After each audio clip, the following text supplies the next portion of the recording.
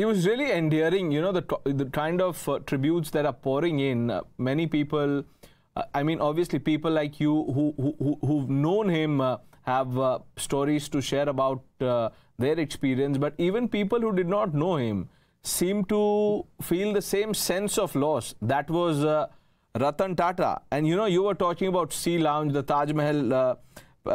Palace and Hotel in Mumbai. How do you think Ratan Tata's personality shaped the public perception of the Tata brand and its values? I think it had an overwhelming uh, impact on how people perceived the brand, his personality, and what he represented and what he stood for.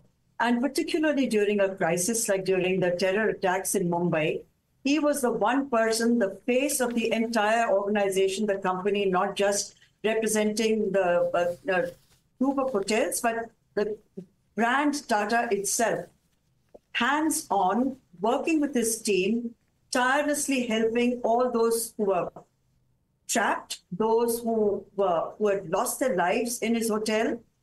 It was a heartbreaking sight, but also a heartwarming sight uh, to see that uh, person like him uh, being there throughout the night, helping his own people and giving assurances to those who were still inside and their families that he would be there no matter what. This was the kind of person he was. You could approach him. He was just extremely approachable and uh, not in the least bit standoffish. He welcomed conversations in his own very quiet way.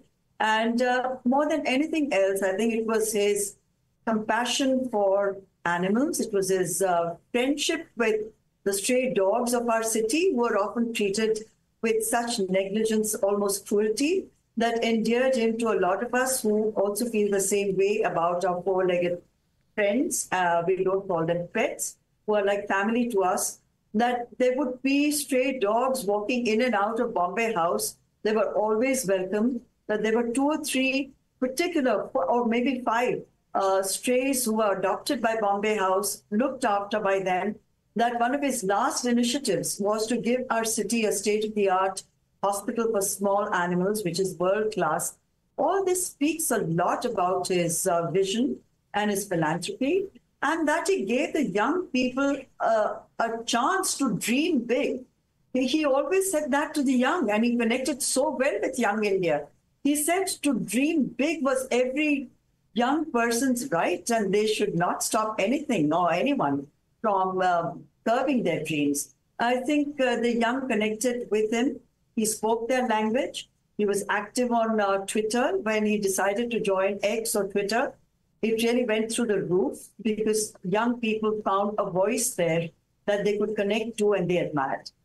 You know, you were talking about uh, the 2611 attacks, and uh, um, people are aware of the image of Ratan Tata standing at the Colaba end watching the iconic dome of the Taj Mahal uh, Palace Hotel up in flames. You were there when the Taj reopened. What was the That's experience right. like? Would you agree that he's played a substantive role in, uh, you know, how should I put it, in restoring a symbol of Mumbai's uh, enduring spirit? Absolutely, absolutely. I mean, every Mumbaikar felt so proud. They felt it was like a personal triumph for, for them when the Taj reopened. And it was such a moving, such a deeply thoughtful ceremony that uh, he led.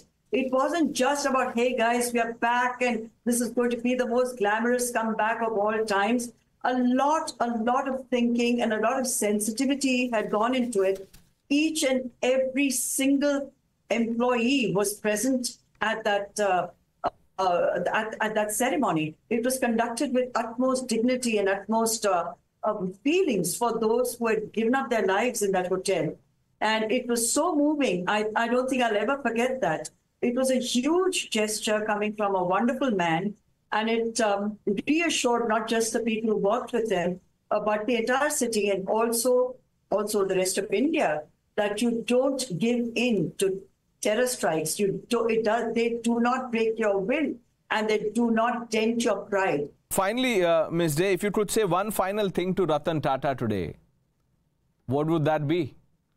That would just be that we were so blessed to have you in our midst. during our lifetime, that he is the true Bharat Ratna of India, a priceless gem, and all of India, I'm sure, shares my sentiments when I say that. Well said, ma'am. Uh, thank you for joining us. Uh, thank you for uh, the, the anecdotes that you've shared with our viewers.